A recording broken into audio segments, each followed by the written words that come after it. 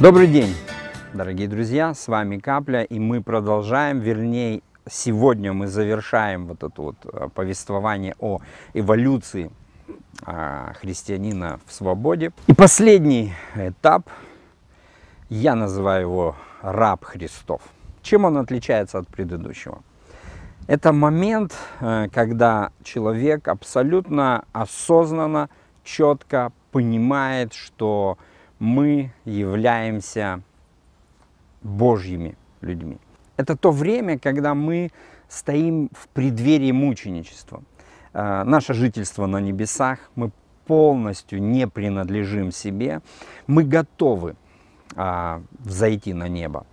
Мы готовы отдать собственные жизни. Мы настолько не боимся смерти, что она нас привлекает. Помните, апостол Павел пишет, что желаю разрешиться и быть со Христом.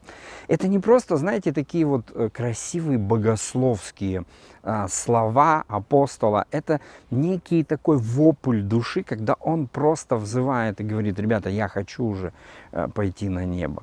Мне нравится а, фраза из Ветхого Завета, она адресована а, патриархам, которые говорят – о которых, вернее, говорится, насыщ, насыщенный днями. То есть человек, который нажился, человек, который уже хочет пойти на небо. Большая часть э, христиан панически боится смерти, признаемся мы или нет, но мы боимся этого. Однако раб Христов – это человек, для которого граница духовного и мирского, она стирается – и не я живу, но живет во мне Христос.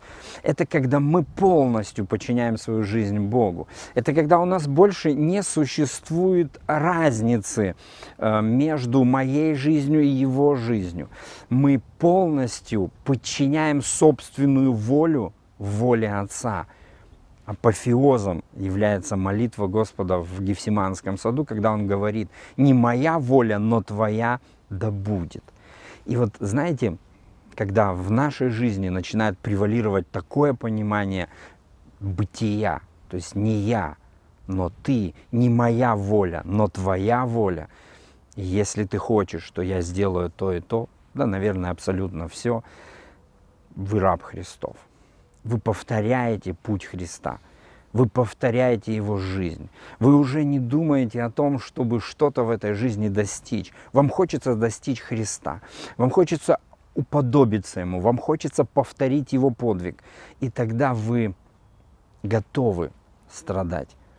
И делаете это с радостью.